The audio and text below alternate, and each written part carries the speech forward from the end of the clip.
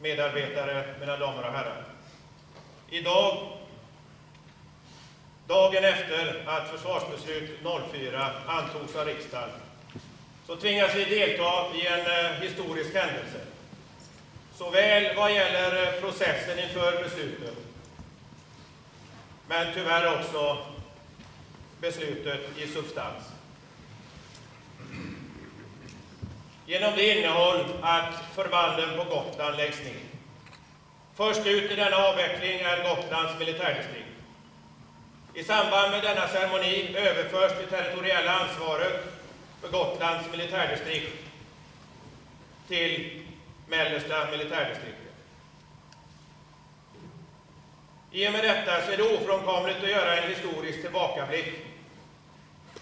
Allt sedan Bodisco 1808 drevs från ön och amiral Cederström året därefter erhöll titeln landshövding och militärbefälhavare, så har Gotland haft en ständigt indelad militärstab, mestadels under ledning av en general. Försvarsmakten på Gotland kan sägas ha varit i ständig utveckling i cirka 200 år. Från tidigt 1800-tal till försvarsbeslut 2000. Frånsett tiden för 1925 års försvarsbeslut och tiden fram till 1937. 1925 års försvarsbeslut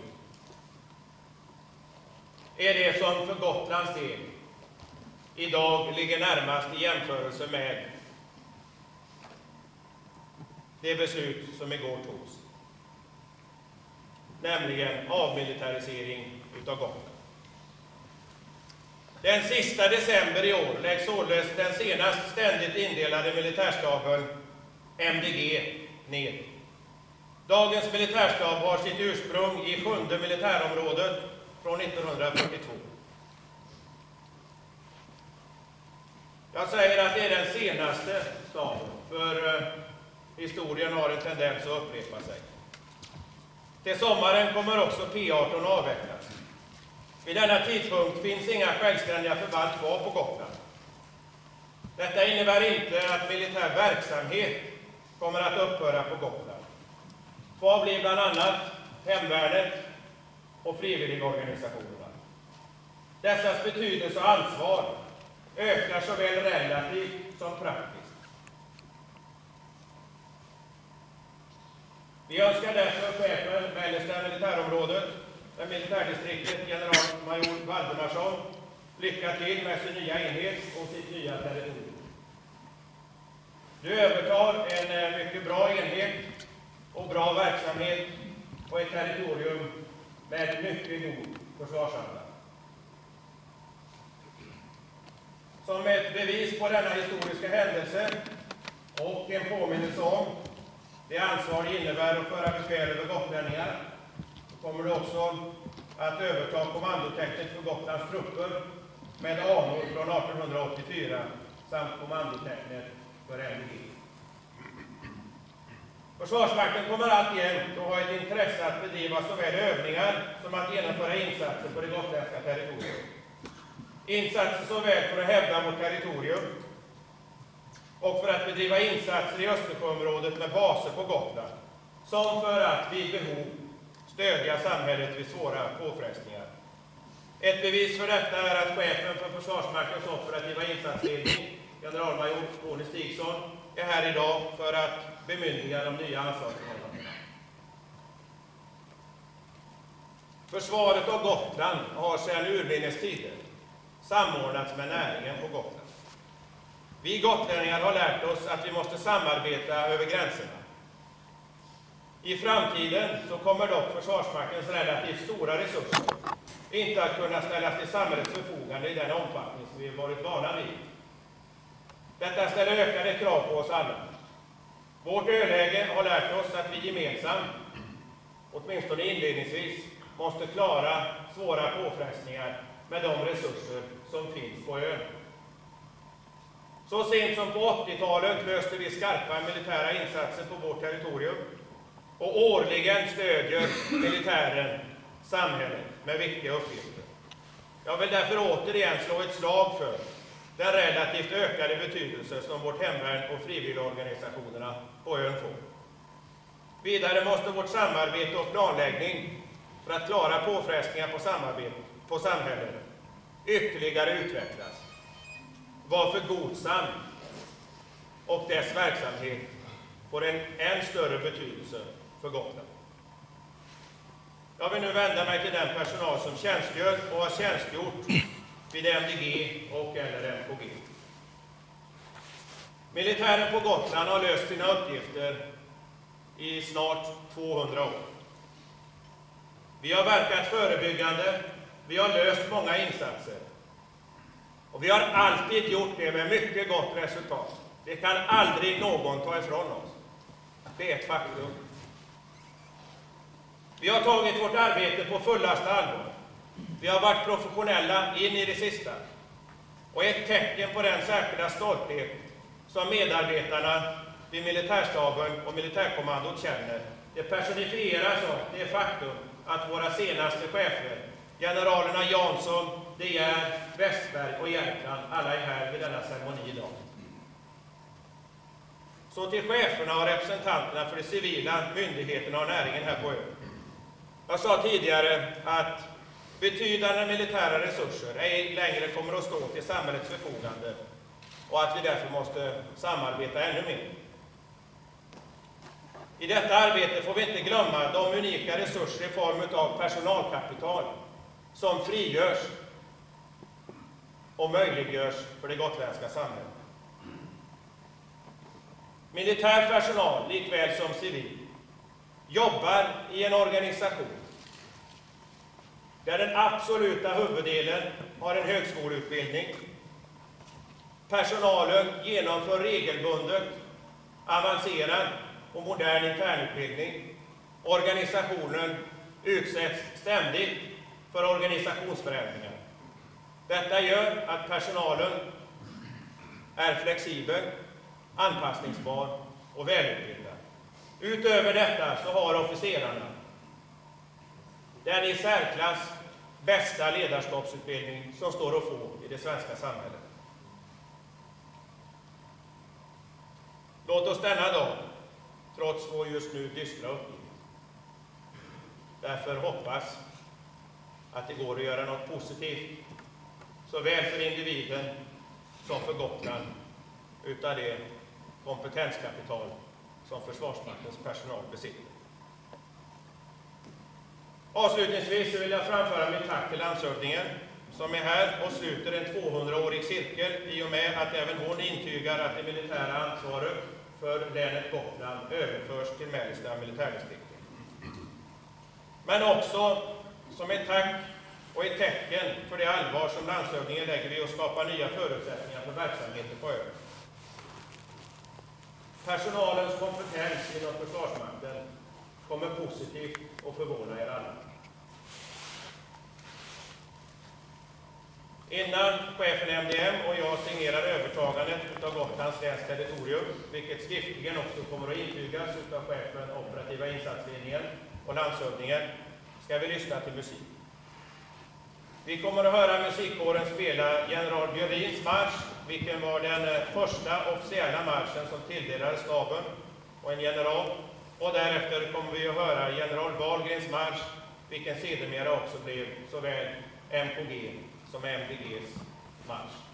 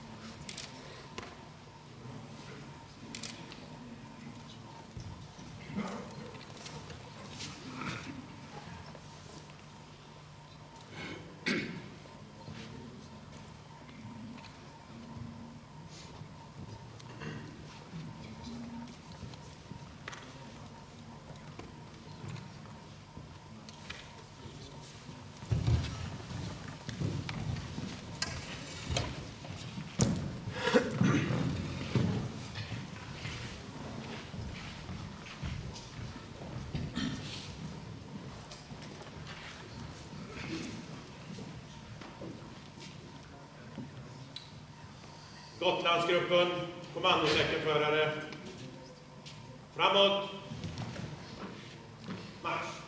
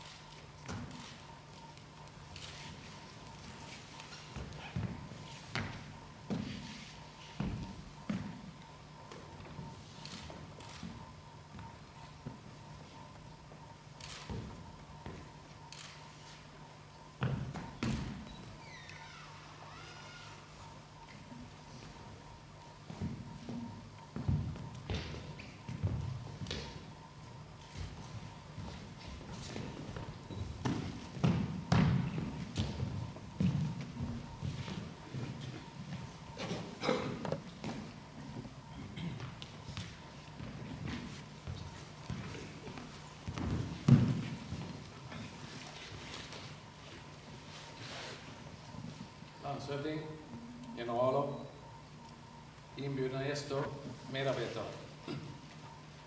Försvarsmakten har sedan många år levat under kontinuerlig förändring. I och med det nya försvarsbeslutet igår går Försvarsmakten in i ytterligare en förändringsfas. En förändring som är föranledd av att vår omvärld förändras, av att hotbilden är annorlunda och att behoven att kunna utnyttja Försvarsmakten som ett säkerhetspolitiskt instrument har förändrats. Vår huvud, huvudfokus har gradvis skiftat från de nationella uppgifterna och behovet att försvara det egna territoriet mot att tillsammans med andra länder kunna ingripa i oroshärdar runt om i världen. Det existerar inte på överskådlig tid ett militärt hot mot vårt lands territorium som kan hota vår nationella existens. Vi måste dock fortfarande ha en betryggande förmåga mot de marginella hot som ändå kan uppstå. Men det kan vi uppnå med mindre volymer och med en annan organisationsstruktur. Vi måste också tillsammans med övriga delar av samhället bygga upp en förmåga mot de nya hot och risker som kan hota vårt samhälle. Hot och risker som knappast kan mötas sektorsvis utan kräver utökad samverkan och samordning mellan alla samhällssektorer. Som så ofta i omstruktureringsarbetet svänger pendeln fram och tillbaka. Nu knyts åter tätare band mellan de militära strukturerna i Svealand och Gotland. Vi måste nu i Strängnäs åter lära oss att rikta våra blickar och vår uppmärksamhet mot Sveriges största ö. Det finns en tradition och historik som underlättar detta kvar i Strängnäs, men mycket måste vi lära oss på nytt. Gotland är unikt. Gotland har en geografisk och militärgeografisk särart som måste beaktas, även om vi talar om minskad betydelse för försvaret av territoriet. Det starka engagemanget hos gotlänningarna för försvarsfrågor är unikt. Gotland har en alldeles särskild infrastruktur. Inte bara ur logistisk synpunkt, utan kanske framför allt den infrastruktur som finns på Gotland när det gäller statliga, kommunala, landstingskommunala myndigheter och. Det har utvecklats och utarbetats särskilda samverkans och samarbetsformer på Gotland. Samverkansformer som i hög grad involverar och berör Försvarsmakten. Jag har stor förståelse för Gotlands särart i alla dessa avseenden och största respekt för den tradition och det samarbetssätt som mina militära företrädare på ön har utvecklat. Vare sig jag har företrätt Försvarsmakten genom militärdistrikt eller militärkommando. Jag och min stab ska med ödmjukhet och respekt ta över, förvalta och utveckla det arbetet. Jag hälsar Försvarsmaktens personal på Gotland, de anställda såväl som värnpliktiga, hemvärnsmän och avtalspersonal. Välkomna till mellersta militärdistriktet. Jag hälsar våra civila samverkanspartners på Gotland, på alla nivåer, välkomna till dialog och samverkan, även fortsättningsvis i den fruktbara anda som hittills har präglat dialogen här på Gotland. Jag övertar det territoriella ansvaret för Gotlands län. Jag tar befälet över Gotlandsgruppen.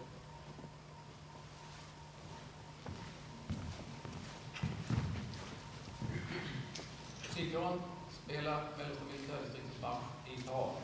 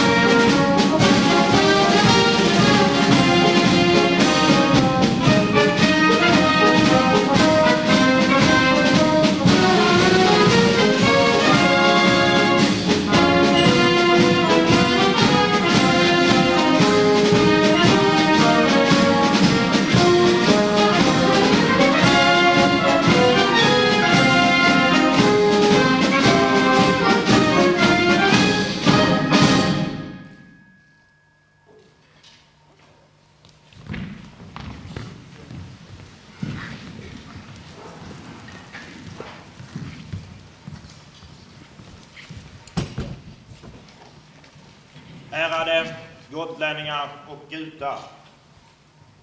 Gotlands militärkommando, sedermera Gotlands militärdistrikt, bildades 1966 och har hållit motståndaren stången från de kallaste av kalla krigets dagar ända fram till idag. En av MD Gotlands stora uppgifter har varit samverkan mellan civila och militära företrädare. Denna samverkan har utvecklats genom nära samarbete under många år och har alltid fungerat väl. Chefen för Gotlands militärdistrikt har nu, tillsammans med chefen för mellersta militärdistriktet, gjort noggranna förberedelser för att företrädarna för Gotlands län, Visby kommun, polisen, räddningstjänsten, hädanefter ska få ett lika givande samarbete med MD Mitt.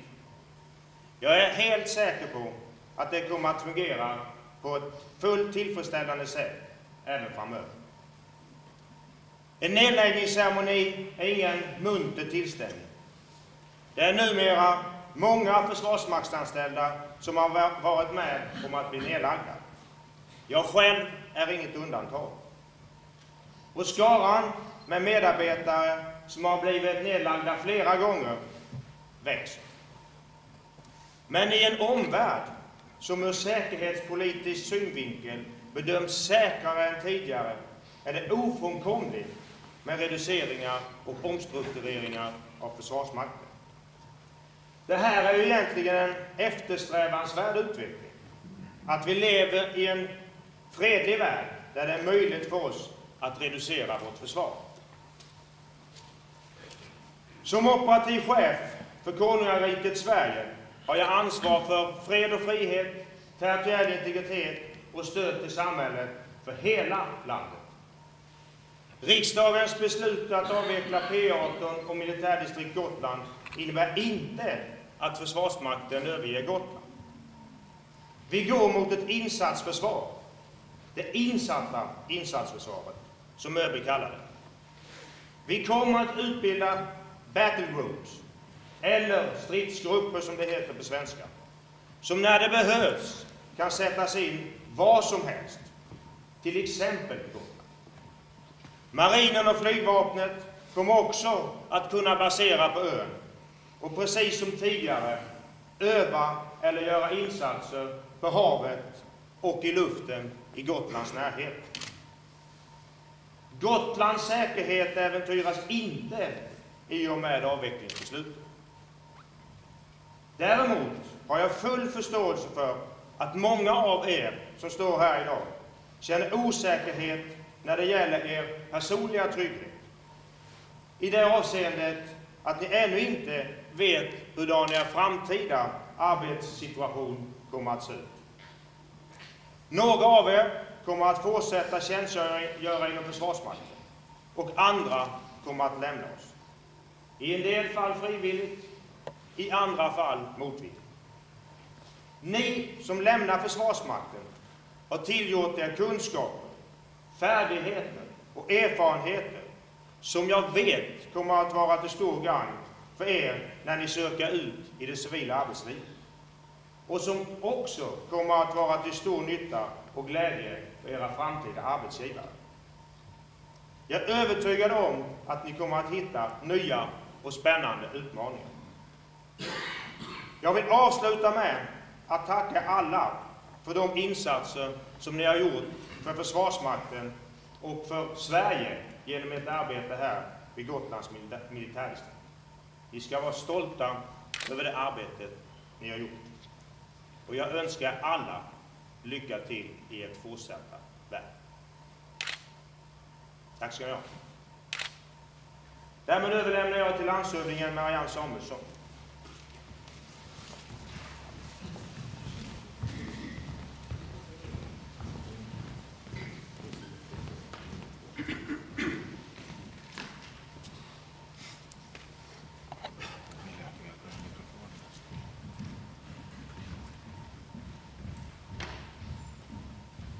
Kära vänner. Denna dag är en historisk dag. Den kommer att stå i våra historieböcker. En lång tradition bryts när Gotlands militärdistrikt läggs ner och det territoriella ansvaret för Gotland återigen blir en del i ett annat distrikt. Nu det mellersta militärdistriktet med säte i Strängnäs. I nästan 200 år har Gotland varit ett eget distrikt med en egen stab förband att föra befäl över. Historiskt har vi under dessa år upplevt krigstider. Gotland har då haft ett utsatt läge, men lyckligtvis har vi ej behövt gå i strid. Under de senaste fem decennierna har det rått fred i Östersjöregionen. Och det hot som var en realitet för knappt 20 år sedan anser regering och riksdag nu har minskat radikalt. Så markant har vår omvärld förändrats. Sedan den första dag jag tillträdde som Gotlands landshövding har jag arbetat hårt för att vårt regemente P18, som är kärnan i dagens militära verksamhet på Gotland, skulle få vara kvar. Men inte bara jag och Länsstyrelsen, utan kommun och alla ni inom militära organisationer, liksom många gotlänningar, har på olika sätt agerat. Jag vill ta tillfället i akt och rikta ett tack till er alla som agerat för P18. Riksdagen har nu fattat beslutet, vilket får oerhört stora konsekvenser för Gotland. Först och främst för er som är anställda inom försvaret. Men också för vårt gotländska samhälle, vår trygghet, vår säkerhet, där försvaret och dess anställda har spelat en betydelsefull roll.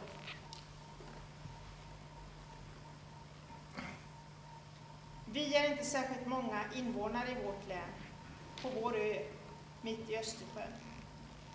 Det har gjort att vi under åren lärt oss hur nödvändigt det är att samarbeta. För försvaret på Gotland har det varit självklart att ställa upp med resurser när så har behövts. Som när vi för drygt tio år sedan upplevde den i modern tid största skogsbranden i Norden, då skogarna kring Torsburgen brann. Men även när vädrets makter hotar lamslå vår ö. Vilket blev aktuellt så sent som för tre veckor sedan, då P18 ställde upp med personal och bandvagnar i beredskap. Detta samarbete har under de senaste åren fått en fastare form i projektet God Och det vill jag säga att det är med viss oro jag eh, undrar över hur vi ska kunna säkra Godsams och Gotlands behov av resurser framöver. En lång tradition bryts, även mer formellt för en landshövding. Landshövding har historiskt varit militärbefälhavare för Gotland. Jag fick aldrig bli militärbefälhavare som mina företrädare. Men cirkeln sluts i och med att jag tillsammans med chefen för OPIL och chefen för MDG överlämnar det territoriella ansvaret till militärdistrikt mitt.